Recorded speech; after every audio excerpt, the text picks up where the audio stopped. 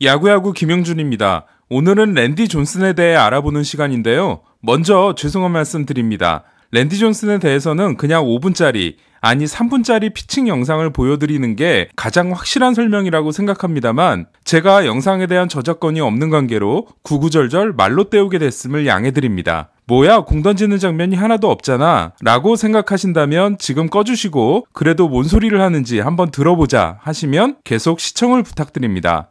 랜디 존슨은 역대 24명뿐인 300승 투수이자 4,875개의 탈삼진으로 논란 라이언에 이어 역대 2위에 올라 있는 투수입니다.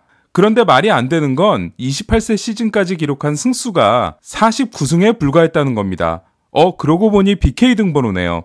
동시대에 뛴 300승 투수들과 비교하면 더 말이 안 된다는 것을 아실 수 있으실 텐데요. 로저 클레멘스가 28세 시즌까지 거둔 승수는 존슨보다 85승이 많은 134승, 그렉 매덕스는 82승이 많은 131승이었습니다. 하지만 존슨은 클레멘스, 매덕스, 글레빈이 통산 2129번의 선발 경기에서 한 번도 하지 못한 일을 두 번이나 해냈는데요. 바로 1990년에 따낸 노히트 노런과 2004년 만 40세 251일의 나이로 세운 역대 최고령 퍼펙트 게임입니다. 존슨 이전 최고령 퍼펙트 기록은 정확히 100년 전인 1904년 사이영이 세운 37세 37일이었는데요. 존슨은 이 기록을 3년 214일 늘리게 됩니다. 존슨은 20탈삼진 경기와 노히트 노런 퍼펙트 게임을 모두 달성한 역대 유일한 투수입니다. 슈어저는 20탈삼진 경기와 함께 노히터 두 번을 만들어냈지만 퍼펙트는 달성하지 못했습니다. 존슨은 키가 6피트 10인치 2m 8cm인데요. 고등학교를 졸업할 때 그 키였다고 합니다. 존슨의 키는 유전인 것 같습니다. 미네소타 출신 경찰관이었던 아버지의 키는 198cm였다고 합니다. 아무리 먹어도 살이 찌지 않는 크리스 세일도 아버지와 할아버지가 그랬던 걸 보면 역시 유전의 힘은 무서운 것 같습니다. 존슨의 아버지가 가장 좋아하는 운동은 스키 점프라고 하는데요. 랜디 존슨이 스키 점프하는 장면을 상상해보면 머리에 잘 그려지지가 않네요. 1982년 고등학교 졸업반 때 존슨은 애틀란타의 4라운드 지명을 받는데요. 애틀란타가 같은 해 2라운드로 지명한 고교 투수는 톰 글레빈이었습니다. 하지만 글레빈이 아이스하키의 꿈을 포기하고 애틀란타에 입단하는 반면 존슨은 USC 남가주 대학에 진학하게 됩니다. 만약 존슨이 애틀란타에 입단했다면 어떻게 됐을까요? 존슨과 글레빈이라는 시대를 대표하는 그러나 스타일이 완전히 다른 두 좌완이 한 팀에서 뛰었을 수도 있습니다. 그리고 존슨이 변신을 시작한 게 1993년이니까 1993년 매덕스 영입도 그대로 진행됐을 수 있습니다. 그렇다면 매덕스, 글레빈, 스몰츠에 랜디 존슨? 아무리 상상은 자유라지만 너무 나간 것 같죠? 대학에서 존슨의 전공은 미술이었다고 합니다. 또한 학교 밴드의 드럼 연주자로 락큰롤 잡지를 만들기도 했다고 하는데요. 은퇴 후 사진 찍으러 다니는 취미가 생길만 했습니다. USC에는 야구를 정말 잘한 1년 선배가 있었는데요. 바로 마크 맥과이어였습니다. 맥과이어는 투타 겸업을 하다가 존슨이 들어오고 나서 타자에만 전념하게 됩니다. 1985년 전체 34순위로 몬트리올 엑스포스의 유니폼을 입은 존슨은 무시무시한 구위와 구제불능의 제구를 동시에 선보입니다.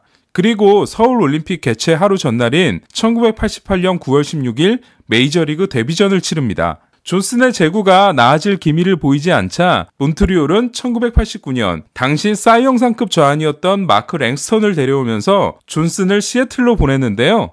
만약 몬트리올이 존슨을 계속 데리고 있었다면 존슨과 페드로 마르티네스가 한 팀에서 뛰었을지도 모를 일이죠. 1997년 시애틀 소속이었던 존슨은 213이닝에서 291개의 삼진, 몬트리올 소속이었던 페드로는 213이닝에서 313개의 삼진을 잡아냅니다. 하지만 존슨이 시애틀로 간 건 운명적이었습니다. 시애틀로 갔기 때문에 1992년 텍사스에서 뛰었던 놀란 라이언을 만날 수 있었고 라이언에게 도와달라고 할 수 있었던 겁니다.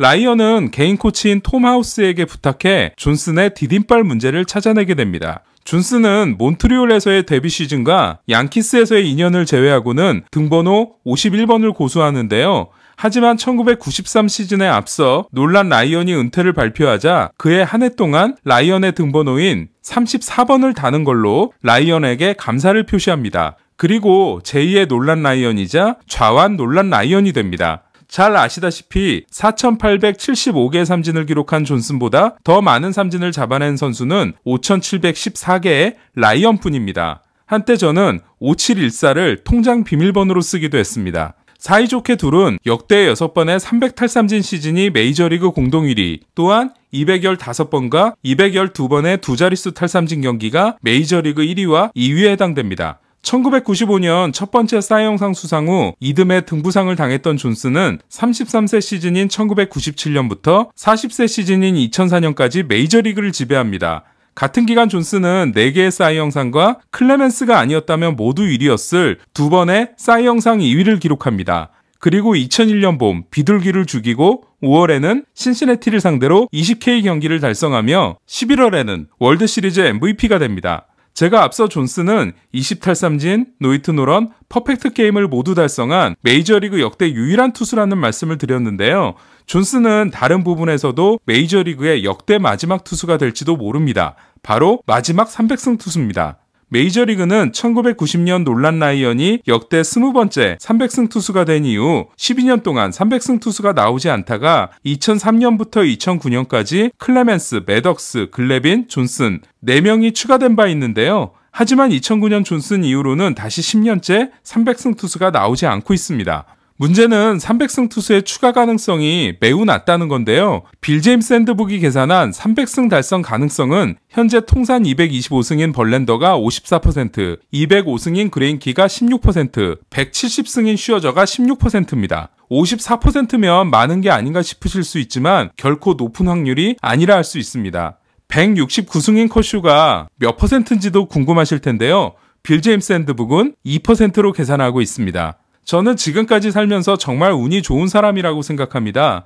그중 하나는 대학을 졸업하고 사회생활을 시작한 2000년이 박찬호 선수의 최고 시즌이었다는 건데요. 그와 함께 페드로 마르티네스와 랜디 존슨의 전성기를 볼 수 있었던 것은 제가 평생을 감사하게 될 일인 것 같습니다. 특히 김병현 선수가 애리조나에 입단한 덕분에 랜디 존슨의 2000년, 2001년, 2002년 시즌을 더 꼼꼼하게 볼 수 있지 않았나 싶습니다. 지금 생각해도 가슴 벅찬 존슨의 시대, 페드로의 시대는 다시 올 수 없겠죠? 이상 김형준의 야구야구 영상으로 만나는 인사이드 MLB였습니다.